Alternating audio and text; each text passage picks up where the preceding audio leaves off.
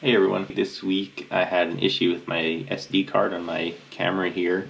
Um, I'm just using the GoPro and uh, the SD card has been giving me these errors where it tells me that there's no readable SD card and then I have to reformat the card and then I lose everything that's on the SD card itself. It happened one time, the last time I went up for a mountain run here in Beacon, um, and it just happened again now on Thursday when I did my track workout um, and I did the tempo run. So I had kind of filmed each lap around at each pace throughout the tempo workout. And when I got home, it just, you know, the, the, the card had an error, had to reformat it, lost that data. And then I went out for the long run over the weekend. On Saturday, I didn't get any footage because, again, the, for, the card had an issue and it actually wouldn't even film. So I just went out and got my run done. Um, and then on Sunday, I went out for my 16 mile run and the 16 mile run went fine, but I just didn't even bother bringing the camera um, because of the issues that it's been having.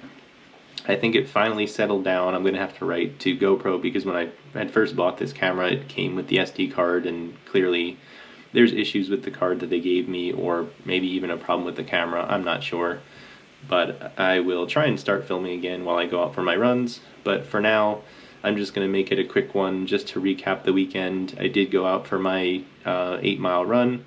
Uh, went really easy on that one. I think that the pace was at or over 10 minutes a mile just to keep it nice and easy because I wanted to make sure my legs were fresh enough for the 16 mile run, which I knew was going to be hard because it was it was actually pretty humid and hot.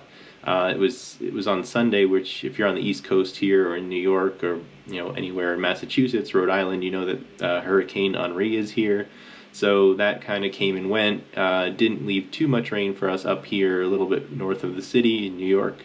Um, but overall, it just was raining a little. Then it would be hot, so the humidity in the air would just kind of pick up, and it was you know I don't know. I went through like two liters of water in in a matter of the two and a half hours or so that I was running. So it was pretty brutal. Uh, so I just went out, got it done, and uh, I didn't want to waste my legs on on that Saturday before with the eight miles. So overall, everything was fine. You know, again, just kind of leaving here the paces that I was running over the weekend, um, and hopefully we'll kick back into a normal, more regularly scheduled uh, video routine if I can get this camera to to cooperate. Uh, if not, I could always use my iPhone too, uh, and that uh, tends to work just fine. So we'll see how it goes. But uh, yeah, that's just an update from the weekend uh, so far this week. Alright, gonna make a smoothie, and I got a four mile tempo run today. Gonna do it on the road, um, just to kind of do it on some hilly things instead of just the track. So we'll go out and do that in a second. It's pretty warm today, but hopefully not as humid, so we'll see how it goes.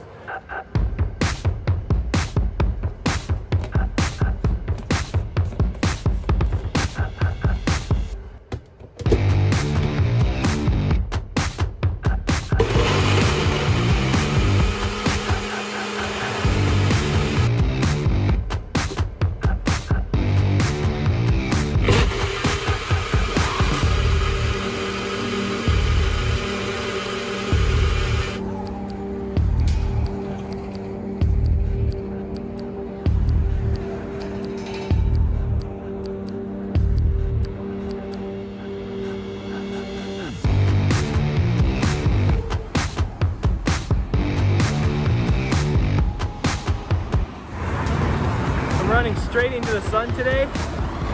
Still a thousand times better than on Saturday and Sunday when it was humid and wet. It's amazing how much the heat doesn't really matter as much as the humidity. It feels pretty good out here. I'm going faster than I was on Saturday and Sunday for sure. Um, so I'll talk about it a little more inside, but the breeze and the relief from the humidity right this moment is wonderful. Still have sweat going in my eyes though, so head back, but I just wanted to point it out that no matter what the sun is doing right now, it's just the humidity that's a bother.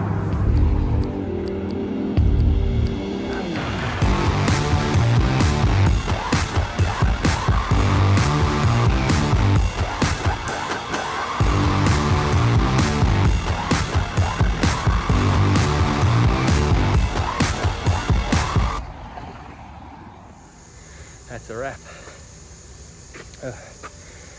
843 average, the outdoor tempo on the road. not too bad. Not too bad. Definitely hot, but again, the humidity is better. So we'll see. so I said it before, and today we'll just keep it short. Um, but overall, it was a good run this afternoon. I went for a tempo run. Um, so we've done tempo runs now in this training block on the track where it was like a five minute increment, every five minutes increasing the pace to around, you know, 5K, 10K pace, somewhere in between there.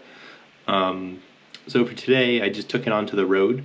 Um, I wanted to throw in the additional kind of uh, challenges that come with, you know, elevation change, like hills and things like that.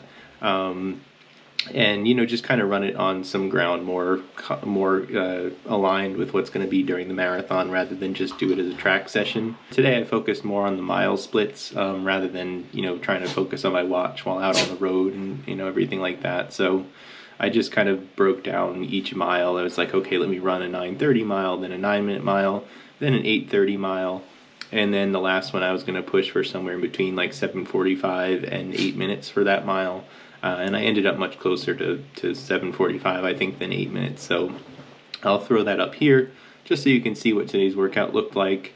Um, I did do kind of a cool down separate um, once I stopped the last mile. So once I got back to my place I just uh, kind of did a little walking and then jogged a little bit just to cool down. So that was today. That was my you know road version of uh, of a tempo run instead of doing it on the track.